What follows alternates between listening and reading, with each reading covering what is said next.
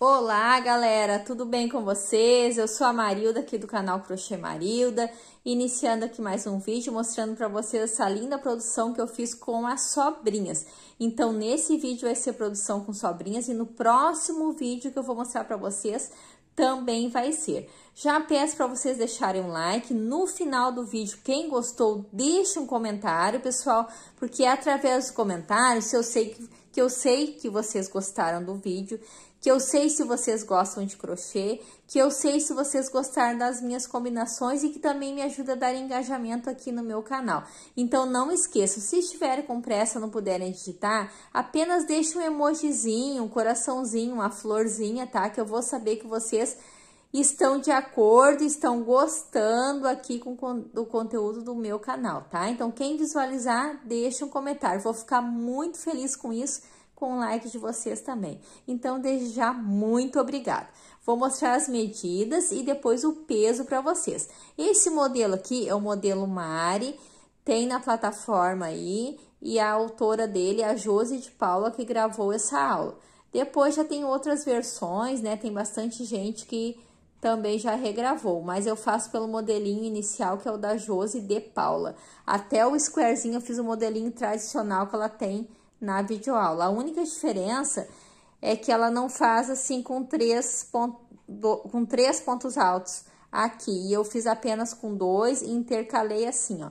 Dois pontos altos, duas correntinhas, dois pontos altos. E vim na próxima carreirinha e fiz ao contrário, ó. Coloquei dois pontos altos nesses vãozinhos, tá? E ela faz assim, na sequência com três pontos altos, um acima do outro, né? Ela não faz nos vãozinhos assim que nem eu fiz. Então, essa é a única diferença. Usei pérolazinha número 6, o que dá todo um destaque, né? Na peça fica muito bonita. E os mescladinhos também, né? Dão um charme. Tinha um picôzinho, então, lá do início até aqui, o outro ficou com 56 centímetros no comprimento.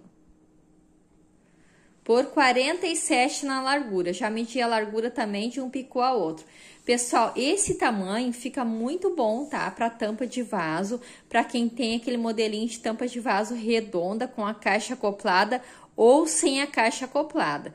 Para quem já não tem a caixa acoplada, que o encanamento é direto na parede, pode ser um pouquinho maior, porque aí ele dá aquele caimento, né, para baixo. Mas pouca coisa, uns 2 centímetros só a mais. Então, se fizer uma carreirinha só a mais nesse modelo aqui, já fica perfeito para a tampa do vaso, tá? Mas para quem tem caixa acoplada ou aquela caixa que ela é, ela é bem acima, né, do vaso, eu não sei como é que se chama aquela caixa, mas ela tem o, o cano e ela é bem acima, né? Então, pode ser esse tamanho aqui, fica perfeito. Eu fiz aqui, ó, com uma, duas, três carreirinhas no cinza, uma, duas no rosa bebê, duas no rosa médio, uma no pink e mais duas no médio, uma no cinza e mais três aqui, ó, no rosa bebê. Ficou lindo, lindo, lindo. Atrás a redinha, né? Eu faço esse modelinho tradicional aqui, que eu começo com nove correntinhas, pulo nove pontos altos, depois eu passo para oito, depois para seis, sete correntinhas, seis, cinco, quatro, três, dois, um e nenhuma correntinha. E aqui eu faço com 40 correntinhas para poder dar o lacinho, que fica muito bonito. Eu prefiro assim, pessoal, fazer esse modelo fechadinho, tá? Pego mais ou menos na metade aqui da tampinha do vaso. Prefiro fazer assim, porque eu acho que dá um caimento melhor. Na hora de amarrar, ele vai ficar mais firme. Ficou um fiozinho para trás aqui, eu ainda tenho que arrematar. Mas esse eu acho que é o único fiozinho que ficou, tá? Porque o mar já tá tudo arrematadinho. Já tá embaladinho, vou começar a fazer minha divulgação. E na próxima semana já tenho feira, né? Se Deus quiser. Então, se eu não vender até lá, ele vai para feira junto comigo, porque rosa sempre tem uma boa saída. Se vocês derem uma olhada no meu conteúdo aí atrás, nos meus vídeos, vão ver que eu faço bastante peça em rosa e está sempre saindo. No entanto, que agora não tinha nenhuma de rosa na pronta entrega. Então, corri para fazer, porque eu vou retornar com as feiras, né? As feiras é mais ou menos uma por mês, às vezes tem meses que eu não vou, mas enquanto isso vou fazendo minha pronta entrega, porque também vai entrando as encomendas. Vamos então para a próxima peça. A próxima peça, então, é o pé da pia, e assim ela ficou com 54 centímetros, medindo assim, ó. lá de cima até aqui o picôzinho aqui embaixo. Vamos ver agora assim de lado, com quantos centímetros ela ficou. 54, 51 centímetros. Então, 54 por 51, já vou anotar aqui. Olhem que delicadeza que ela ficou, né? Usei a mesma quantidade das carreirinhas, né, de cada barbante. E aqui eu faço esse detalhezinho aqui em ponto baixo, ó, que fica muito bonitinho, que dá todo um destaque na peça. Eu faço com ponto baixo ao redor. Olha que lindo que fica, né? Fica um amor.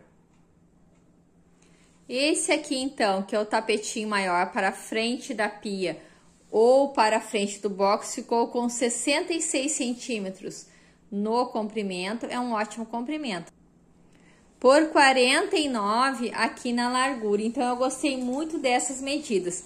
Também fiz com 10 carreirinhas, né? 3 no cinza, 2 no rosa bebê, 2 no rosa médio, 1 um no pink, 2 no rosa médio e 1 um no cinza, que é a carreirinha de pontos altos fechados. Vou estar oferecendo, então, esse joguinho de banheiro aqui a 135 reais, esse é meu preço para os joguinhos de banheiro com Square. Se comprar mais de um, eu dou até um desconto, mas por enquanto esse é o meu preço, tá? E assim, ó, gostei muito, muito, muito desse dessa combinação, né? Que não disse para vocês, o rosa com o cinza eu nunca tinha feito. Eu já fiz o rosa com outras cores, o rosa nos tons dele de degradê. Se olharem no meu canal outras produções com rosa, tem muita coisa, tem jogo de cozinha, joguinho de banheiro, eu tenho tapetinho, tem bastante coisa, tá? Vou mostrar agora para vocês as sobrinhas, porque foi bem com sobrinhas mesmo. Tava assim com o coração na mão para poder saber se ia conseguir e graças a Deus consegui. Antes vou estar pesando, então senão vou esquecer. Já esqueci, poderia ter pesado na hora que eu medi, esqueci. Vou pegar minha balancinha aqui. Liguei já aqui minha balancinha, vou dobrar esse tapetinho aqui, que é o com três squares, né? Vamos ver o peso dele. E ele simplesmente lindo, magnífico. Eu me apaixono por todas as minhas peças, porque eu faço elas com muito amor e carinho, com gratidão a Deus. 275 gramas. Ó, bem econômica, né? 200 e... Ó, deu 77 agora. Mexi na balança, mas é isso aí, 277 gramas então. Já vou anotar aqui também. A próxima pecinha aqui é o do encaixe do vaso, tá? Esse aqui que tem a a parte vazada. Eu vendo mais esse modelo, tá, pessoal? Se eu fizer o outro modelo sem a parte do encaixe, ele fica um tempinho encalhado, quase não sai não. Deu 203 gramas. Me dizem, me digam como é para vocês aí, 202 gramas, ó, o do vaso, 203 gramas. me digam como é que é aí para vocês, já anotei no meu caderninho. Se aí para você vocês vendem mais esse assim, do encaixe do vaso, ou vendem mais aquele modelinho de tapete com dois squares, um modelinho fechado. Aqui para mim sai mais é assim. E esse aqui então é a tampinha do vaso. Olha só que lindo. Eu até apareci conversando com vocês um dia mostrando o início que eu estava fazendo, né?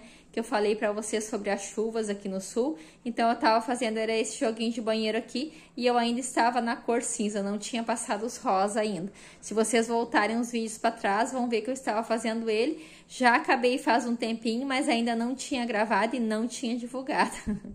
Olha só, 257 gramas a tampinha do vaso.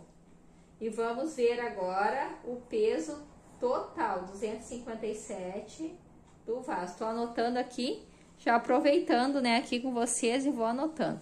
Então, agora as três pecinhas, veremos quanto que pesou. Ficou lindo, lindo, né? Perfeito. Olha só, 742 gramas. É isso aí, ó, 742. Deixa eu ver, a gente mexe aqui na balança. Será que tá bom aqui a claridade? Deu pra ver? 740 até que deu. Então, assim, ó, bem econômico, né, pessoal? Bem bonito, bem estiloso. Ó, soltei aqui. Bem bonito, bem estiloso. Vou estar tá mostrando aqui as sobrinhas, o que me sobrou. Vamos ver o que, que vai me render, então, essas sobrinhas aqui. Olha só, do rosa médio, ó, me sobrou isso aqui. Ó, essa bolinha do mesmo rosa, só que eu tava fazendo outra peça, tive que cortar, né? E aí ficou essa bolinha separada. Então, rosa médio me sobrou isso daqui. Sobrou 98 gramas. Do rosa bebê, eu acho que foi o que sobrou mais um pouquinho. Sobrou 118. Já daria mais de 200 gramas só aqui. E nesse aqui, no cinza, sobrou só uma bolinha, 59 gramas. E no rosa pink, 82. Então, não daria um outro joguinho de banheiro, mas um parzinho de tapete eu acho que sim, né? Se desse para pesar todos juntos, eu pesaria. Pra gente poder ver quanto que dá, porque eu acho que um parzinho daria sim pra estar tá fazendo. Vamos ver se cabe todas aqui, se eu consigo fazer essa proeza. Veremos. Olha aqui, tudo amontoadinho assim deu. Olha só, 356 gramas. Não, pessoal, mas eu acho que parzinho não. Eu teria que colocar mais alguma outra cor junto, né? Mas vamos ver, de repente eu vou colocar mais uma cor junto e a gente faz um parzinho daqui, tá? Me aguarda então no próximo vídeo que vai ser uma outra combinação, não vai ser esse rosa ainda. Mas em seguida eu venho com produção rosa novamente. Quem gosta então de rosa, deixa um emojizinho rosa pra mim, tá? Beijão, tchau, até o próximo vídeo.